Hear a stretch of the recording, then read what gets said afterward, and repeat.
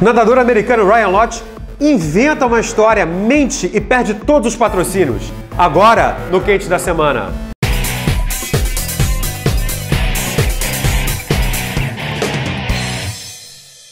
Pois é, gente, que vergonha, que, que pânico, que história foi essa desse nadador americano Ryan Lott? Ele inventou que havia sido assaltado no Rio de Janeiro durante as Olimpíadas. Inventou uma história rocambolesca, acabou que a polícia descobriu que era tudo mentira e agora ele está desmoralizado. Tão desmoralizado que ele perdeu quatro patrocínios. Inclusive perdeu a premiação da medalha de ouro que ele ganhou aqui nas Olimpíadas do Rio de Janeiro em 2016. Um vexame mundial. Esse cara realmente ninguém merece uma, uma história dessa. Ele deu uma entrevista depois, no, no final de semana, para Globo, dizendo que ele não inventou a história, que ele teria aumentado a história. Só que os companheiros dele que estavam com ele já o desmentiram. Que coisa feia, que coisa desnecessária.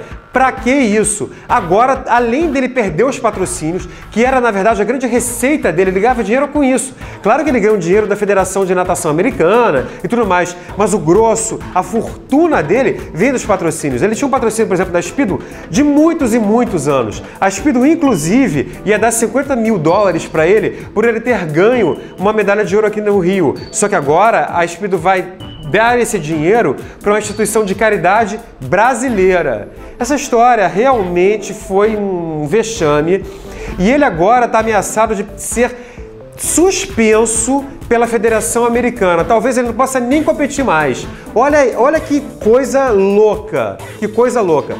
Tem, assim, uma das versões da história diz que ele teria inventado essa mentira para se proteger da fúria da namorada, porque ele teria chegado bêbado no, de uma festa que ele teria ido na lagoa e não queria tomar uma bronca dela. Vamos combinar? Seria muito melhor tomar uma bronca dela do que passar essa vergonha, do que pagar esse mico mundial, né?